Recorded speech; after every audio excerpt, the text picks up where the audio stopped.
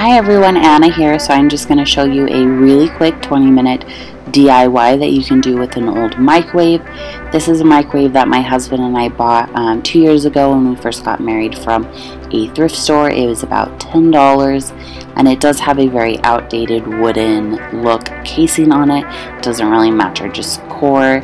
So we're just going to remake it here and then you do need Lysol wipes, a pair of scissors, and you also need a screwdriver and then some contact paper. I did pick out this beautiful white marble just because it matches a little bit better and then I will you take the Lysol wipe and just wipe off all the dirt here we want to make sure that the surface is nice and clean so that the contact paper sticks on it and there isn't any air bubbles or lumps underneath that contact paper.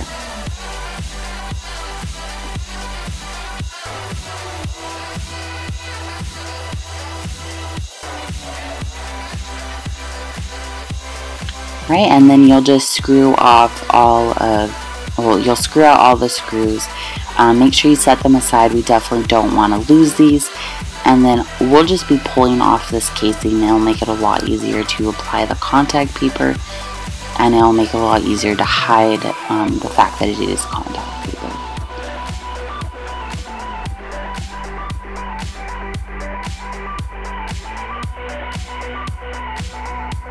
Okay, and then here I'm just pulling off that outside casing.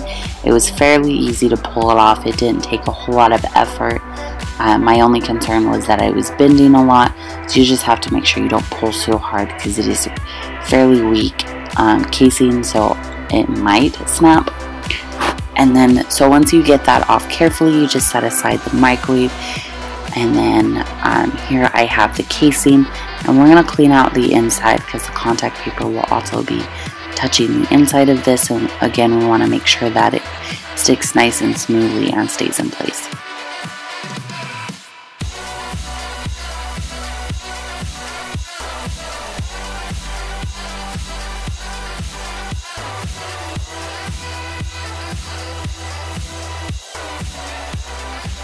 Alright, and then I'm just laying out this contact paper nice and flat Mine did have a graph on the inside, so I was able to easily measure out how much that I needed. If you don't have this graph on the inside of your contact paper, I would recommend drawing in marks and measuring out how much you would need on the edges to make sure that you have enough contact paper to wrap around the outside casing.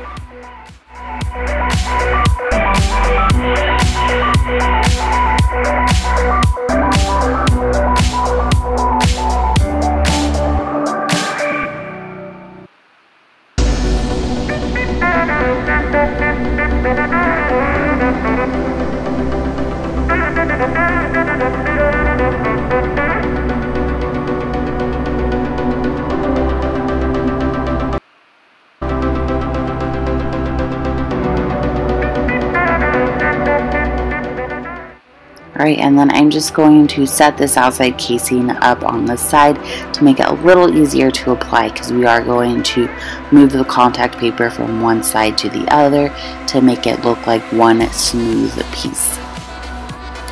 And then here I'm just pulling off that back paper to reveal the sticky side of the contact paper.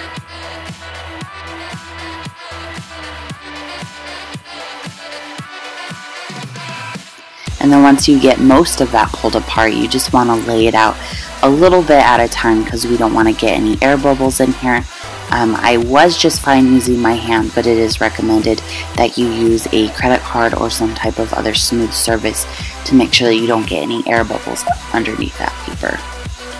And then I am trimming off the edges to make sure that I have it just enough to wrap around. We don't want too much material underneath this microwave and then we're just gonna fold that over and press it down smoothly. Um, I did notice afterwards on the inside here that there were these little clips here that help hold the casing in together so I did have to cut those out but you don't see it on the outside of the microwave when you're done. And then I'm just trimming this down and making sure that everything sticks smoothly. Um, another tip that I have was I had a problem with too much contact paper on this inside. It didn't want to stick very well So I did have to trim it down to a very slim piece so that it stuck more properly.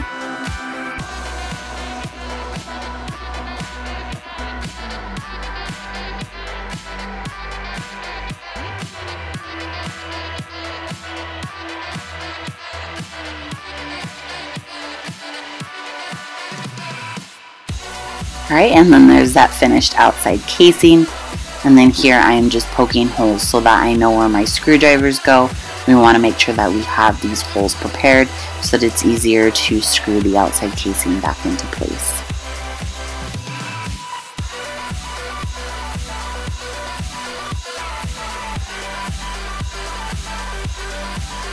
Alright, and then there are these little air vents on the side and I'm just cutting some slits in here so that the air can continue to flow out of the microwave because we don't want to break our microwave.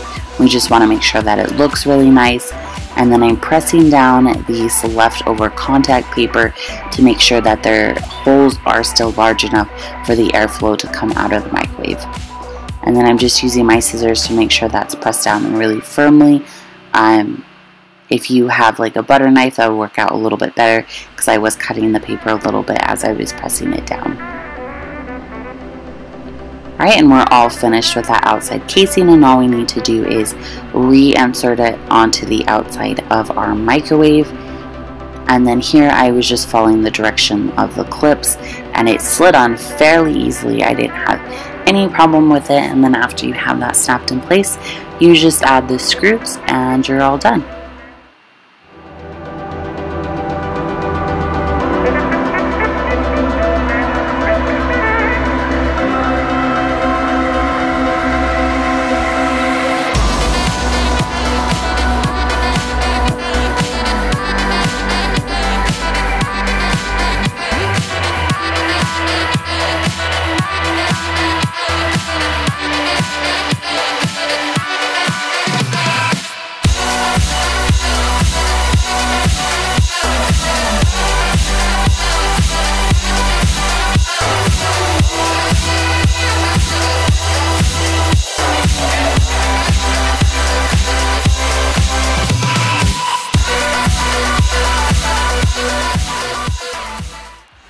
And then make sure you don't screw these too tight because it will cause the contact paper to wrinkle up as you can see here in the back.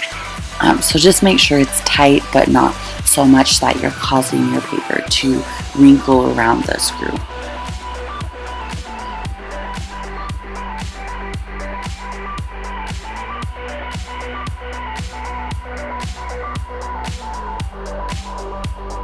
Alright, and then that is the finished project. I do have a pumpkin on it because I created this video back in November, but I do hope that you enjoy it.